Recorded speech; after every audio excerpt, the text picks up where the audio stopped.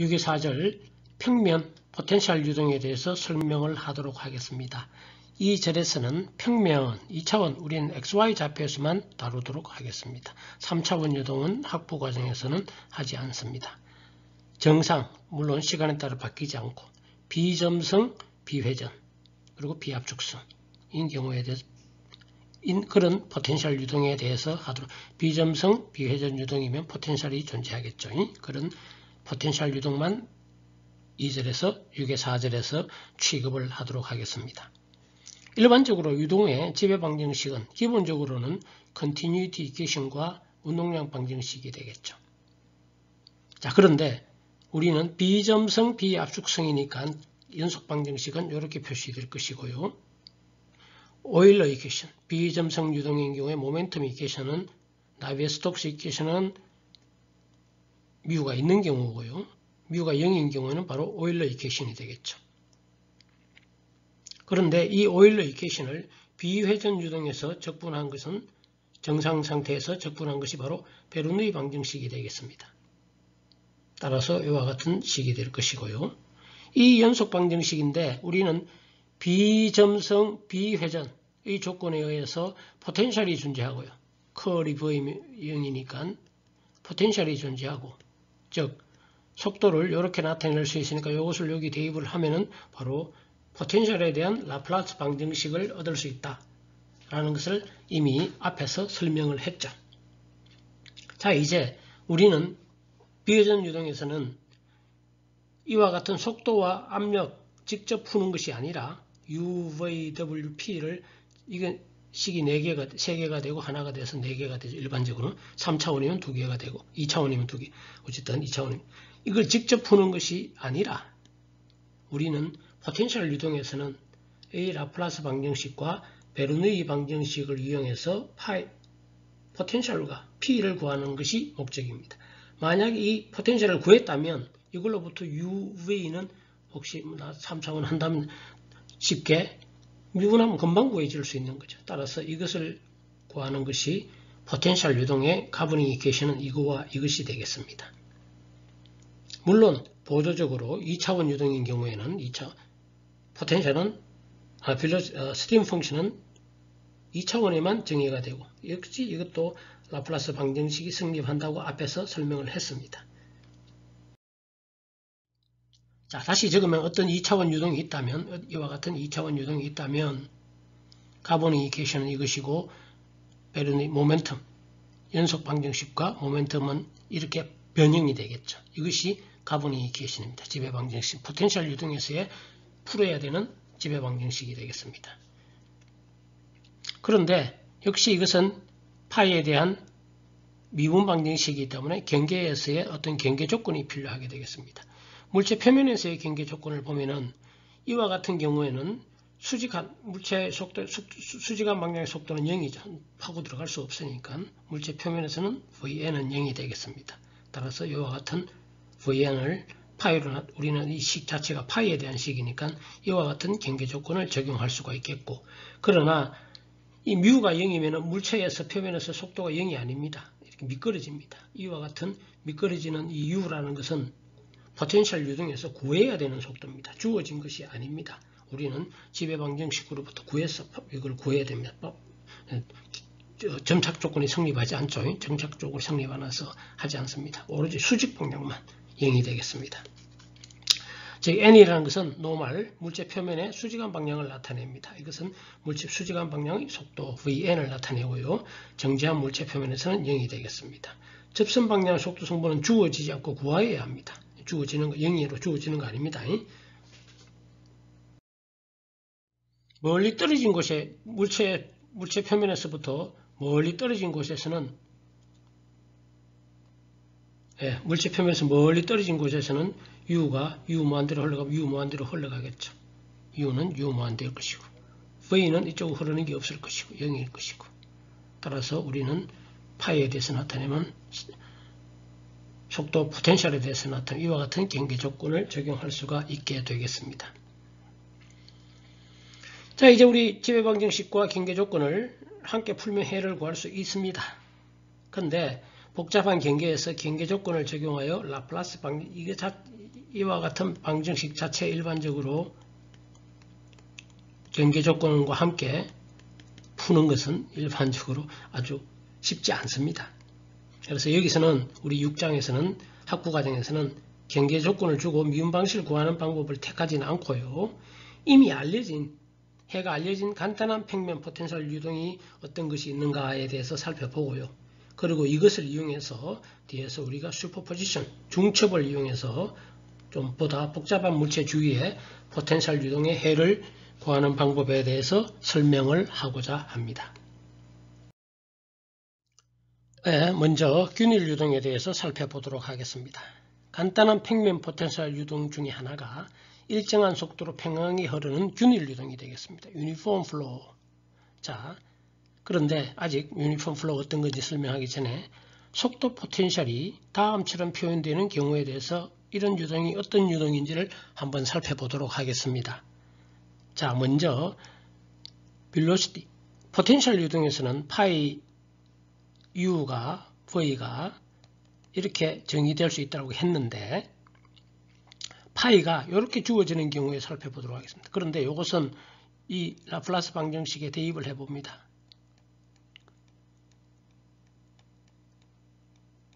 대입을 해보면 0이 되겠죠. 즉 라플라스 방정식을 만족시키는 게 되겠습니다. 따라서 이와 같은 속도 포텐셜은 포텐셜 유동이 되겠죠. 라플라스 방정식을 만족시키는 포텐셜 유동입니다. 우리가 이것을 풀면은 해는 여러 개 많이 나 경계 조건에 따라서 다 여러 가지 형태로 나오는데 지금 요런 요렇게 주어지는 이것도 포텐셜 유동이 되겠습니다. 음, 라플라스 방정식 만족시킵니다. 속도 포텐셜이 이렇게 주어지는 경우에는 속도는 쉽게 구해집니다. u, v. u가 u고 v가 0, 이런 u가 항상 u고 v가 0이면은 x방향으로 이렇게 흐르는 uniform flow가 균일한 속도로 흐르는 그런 유동이 되겠습니다. 자, 유동함수가 주어지고 유동함수 속도 포텐셜이 주어지고 속도를 구했죠. 속도를 구했습니다. 그러면 우리는 stream function도 구할 수가 있습니다. 유동함수도 정의에 의해서 유동함수의 정의가 요거 요거죠. 그런데 u와 v가 주어져 있으니까 이 식으로부터 적분하면은 이렇게 되겠죠. y에 대한 편미반이니까 fx 다시 이 놈을 여기에 대입을 하면 이런 식을 얻을 수 있고 이렇게 되겠죠. 이거는 UI 플러스 C가 되겠습니다. 자 여기서 C는 적분상수인데 Y가 0일 때 만약에 이거라면 C는 이게 되겠죠. 근데 Y 꼴을 제로일 때 이게 0이라면 이거는 0이 되겠죠. 근데 이, 이 차이가 중요하지 이 C는 큰 역할을 못합니다. 이거 뒤에 곧 설명을 하도록 하겠습니다.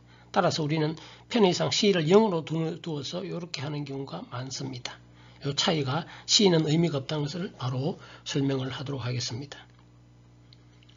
자, 어, 이와 같은 유동은 이것이 constant 한 선이 stream 어, 유선이죠. 즉 이것이 constant 하다는 얘기는 y가 constant 한 선이 유선이죠. y가 constant. 만약에 이것이 y가 1, 2, 3, 4라고 해봅시다. y좌표를. 그러면은 constant인데 사이가 1일 때는 u, 1, 로, u로 constant. 여기 이 만약에 1이라면 이것은 바로 u가 되겠죠. 여기 2인점이 같으면 요거는 2U, 3U, 4U 이런 식이 되겠죠. 네, 요게 Y가 1일 때, 2일 때, 3, 4일 때라면 일반적으로는 이렇게 1, 2, 3 이렇게 되겠죠. 자, 그런데 만약에 우리 C가 있다면 어떻게 될까요? 이렇게 되죠. 큰 의미는 없습니다. 음, C만 쭉 더해지고 쭉 빼지고 그런 의미가 되니까 이건 큰 의미는 없습니다. 마찬가지로 파이에 대해서도 똑같은 얘기를 나중에 우리가 할 수가 있습니다.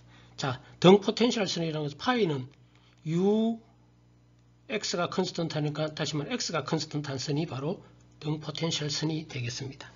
자, 이 경우도 만약 볼까요? 만약에 x가 1, 2, 3, 4라면 이것은 u, 2u, 3u 이렇게 되겠죠. 이거는 0, 마이너스 u 이렇게 되겠죠.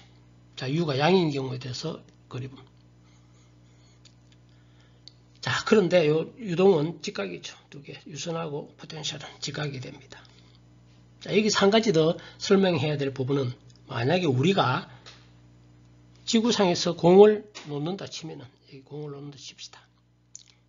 포텐셜 위치 포텐셜 어디가 높느냐 위쪽이 높죠 포텐셜 포텐셜이 위치 에너지 위치 에너지가 포텐셜입니다. 포텐셜이 높은 데서 낮은 쪽으로 이렇게 여기가 높습니다. 높고 낮은 높은 데서 낮은 쪽으로 이렇게 포텐셜이 높은 데서 낮은 쪽으로 이렇게 흐릅니다. 그런데 이 경우는 살펴보면 U가 U가 양수인 경우는 마이너스에서 작은 데서 큰 쪽으로 흐르고 있죠. 포텐셜이 낮은 데서 높은 쪽으로 흐릅니다. 이 이유는 우리가 속도를 이렇게 정의했기 때문입니다. 속도를 마이너스 이렇게 정의했다면 여기 다 마이너스 플러스가 되고 마이너스 마이너스 이렇게 되니까 포텐셜이 높은 데서 낮은 쪽으로 흐르는 겁니다. 그런데 요걸 붙이면 수학적으로 아, 여러 가지 계속 마이너스 붙고 좀 귀찮은 면이 많기 때문에 99.9%의 뭐 모르겠습니다. 99% 이상의 유체각에서는 다 이렇게 정의해서 설명을 합니다. 이렇게 하는데도 뭐 혹시 혹시 있을지도 모르겠습니다.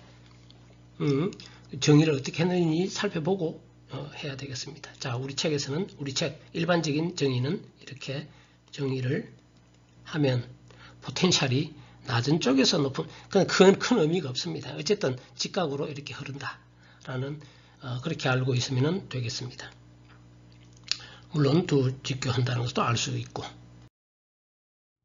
자 그림 6에서 하는 의미하는 것은 어느 하나를 알면 방금 속도를 구하고 속도에서부터 이걸 구하고 반대로 이게 주어지면 속도를 구하고 이걸 구하고 또는 처음부터 U가 주어지면 이렇게 즉세 개 중에 하나만 한 세트만 주어지면 나머지는 주어진 거랑 마찬가지다 라는 설명을 그림 6의 4에서 하고 있습니다. 자 그리고 파이가 주어지면 속도는 금방 뭐 이거 금방 주어진 거랑 마찬가지죠 파이를 알면. 그럼 나머지 하나 governing equation 베르누이 방정식인데 이거는 P 플러스 2분의 로 V 제곱이 일정한데 이 U가 일정하네요 아 con, constant 근데 이게 일정하면 P가 constant죠. 즉 균일 유동장에서 압력은 유동장 전체에서 일정하다는 것을 알 수가 있습니다. 큰 의미가 없습니다. 우리 이, 이 경우에 있어서 압력은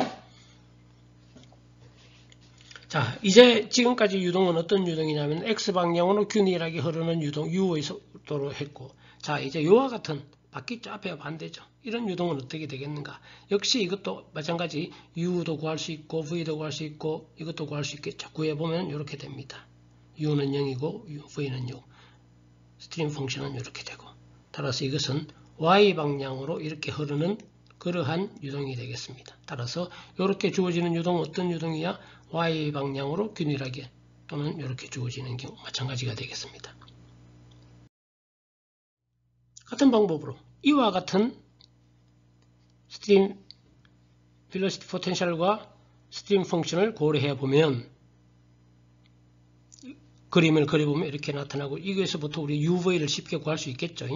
속도 분포 UV를 구해보면은 미분하면 되죠. X에 미분하면 U 코사인 알파 Y에 대해 미분하면 U 사인 알파 즉 속도가 항상 이렇게 알파로 흐르면 이것이 U 코사인 알파일 것이고 이것이 U 사인 알파일 것이고 따라서 U는 이렇게 되겠죠.